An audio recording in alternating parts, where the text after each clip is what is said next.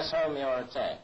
If you individually succeed, you will have delivered the most devastating blow against the very vitals of the enemy. Let him have it right on the chin.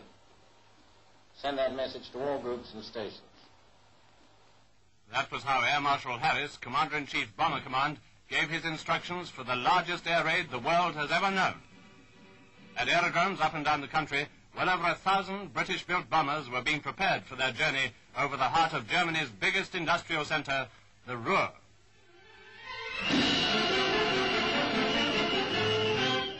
While armorers and fitters were at work on the machines, the air crews were receiving final instructions from station commanders.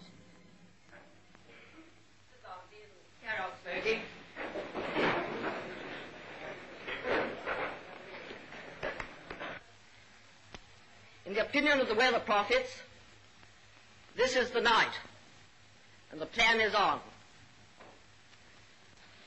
Now, the target is an old friend to many of you. It's the city of Cologne. The route is almost direct. I'll show it to you. It's almost direct. Base, Hoofddorp, direct to Cologne. On your target there, turn southwest, Euskirchen, then direct to Nordland, and then direct to base. That's all. Good luck to you all.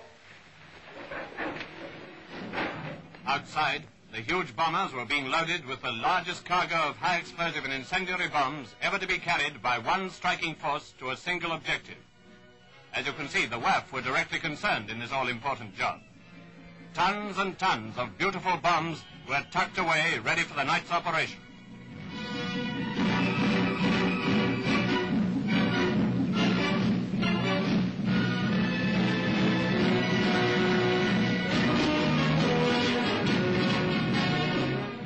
Dusk, the colossal force set out.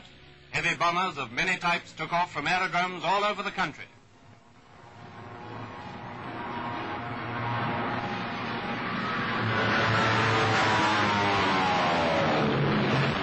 Only perfect staff work could have achieved the devastating success of this raid. For something like an hour and a half, bombs were dropping at the rate of about 20 tons a minute.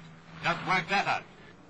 Maybe the Hun is less proud now of the Luftwaffe's savage attacks on Warsaw, Rotterdam, Belgrade, and elsewhere. The pall of smoke which covered the target area for days afterwards made reconnaissance photographs difficult to get. But from these pictures of previous raid results, it's easy to imagine what Cologne looks like today. We already know what the RAF have done to Rostock, Lubeck, and other places. This was before the Thousand Plan came into operation. Home again. The boys certainly seem satisfied with their night's work, and rightly so. Oh, we certainly give Cologne a good pasting this time, anyway. I looked down over the target, nothing but a sea of fire. Never seen so many aircraft in the air before in my life. I think the amount of aircraft we sent over and the amount of bombs dropped and everything else really completely foxed the defenses, etc. Hello, boy. Have a good trip? Yes, fine. Uh, bang on trip, yes. Was it, absolutely. Well, boys, certainly might have missed it the line. What did you think of it, Saint? Yeah, we certainly hit hit them under the chin that time, then. Hit him under the chin, gave him a kick fair and square in the seat of the pants. Well, boys, Julian's into the word cabin strike. Well, I don't suppose eau de Cologne's smells so good now. There's only one thing that I'm afraid we shan't be doing this trip again for a very long time. Nice though it was, because there doesn't seem to be very much left to pay attention there.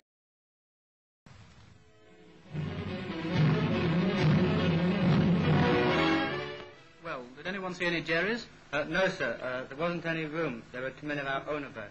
Excellent. No fighters. Well, has anyone else got anything of interest to say? What about the flak?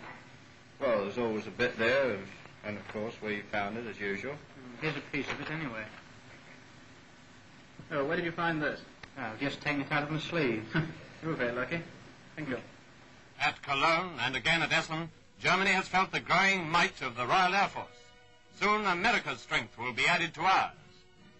Air Marshal Harris has this to say. Cologne, Lubeck, Rostock, those are only just the beginning.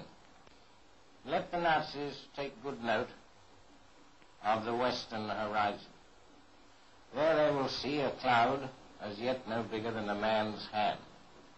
But behind that cloud lies the whole massive power of the United States of America. When the storm bursts over Germany, they will look back to the days of Lubeck and Rostock and Cologne as a man caught in the blasts of a hurricane will look back to the gentle zephyrs of last summer. There are a lot of people who say that bombing can never win a war.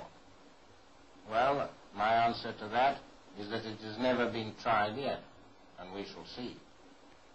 Germany, clinging ever more and more desperately to her widespread conquests and foolishly striving for more, will make a most interesting initial experiment.